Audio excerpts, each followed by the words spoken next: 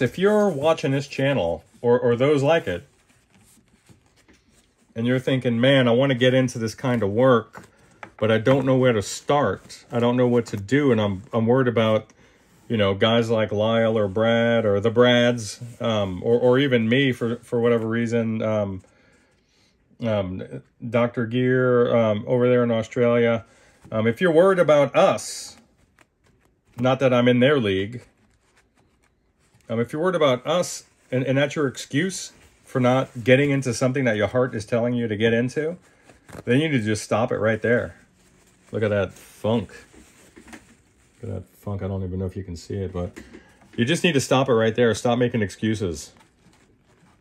You get your ass out there and you learn, you practice, and you don't turn down work because work, the work you're going to get as, as a newbie with no reputation or Yelp reviews is going to be the work that most other guys turn down. And you're going to get work from folks that maybe don't have the budget for a guy with more experience.